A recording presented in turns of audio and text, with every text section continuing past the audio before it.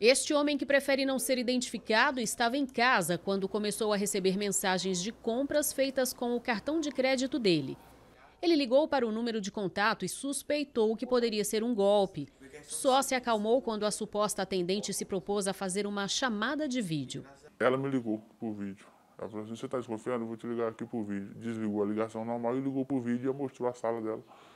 Com um crachá do banco. Tinha outras pessoas assim. E aí eu vi que era realmente do banco mesmo. Ele passou alguns dados pessoais para a golpista. Ela conseguiu acessar a conta bancária dele e transferiu todo o dinheiro para uma outra conta, mais de R$ 4.200. Você economizou, né? E aí foi todo. Praticamente você ficou, eu fiquei o final do ano sem nada praticamente. Hoje, a Polícia Civil de Goiás deflagrou uma operação contra uma quadrilha suspeita de aplicar o golpe da Central Telefônica. Foram cumpridos 58 mandados de busca e apreensão e 20 pessoas foram presas em São Paulo, Pernambuco, Ceará, Piauí e Pará. 17 estão foragidas. O golpe sempre acontece da mesma forma. Os criminosos enviam para o celular das vítimas mensagens de supostas compras de valores altos que a pessoa não fez.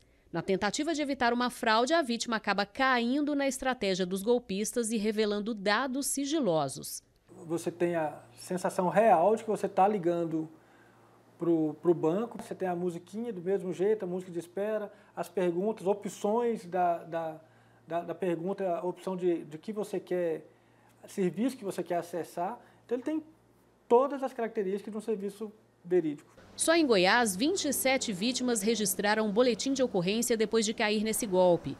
Mas, segundo a polícia, a quadrilha agia em todo o Brasil. A base é na cidade de São Paulo, e, e, as vítimas são de Goiás e nós estamos aqui é, é, é para é, coibir e cumprir esses mandados. Durante a investigação foram identificados 449 números de 0800 que foram ativados pelos criminosos para enganar as vítimas.